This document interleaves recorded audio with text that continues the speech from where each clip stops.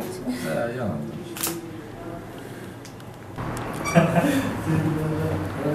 Sağ olun. Sizler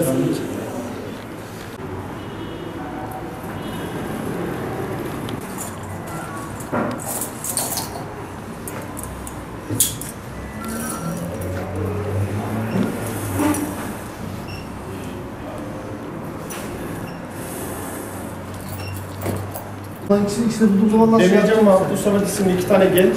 e, Allah razı olsun sizin e, altınlarınızı bulmuş getirmiş. Duyarlılıklarından dolayı kendilerine biz teşekkür ediyoruz.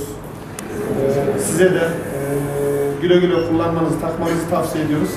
Ayrıca da biraz daha e, dikkatli olursanız e, sizin açınızdan iyi olacağını belirtiyoruz.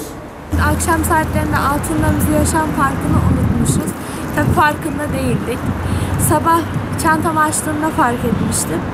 Direkt ben ilk önce oturduğumuz yerleri aradık. Orada bulamayınca polis merkezine başvuru yapmak için geldik.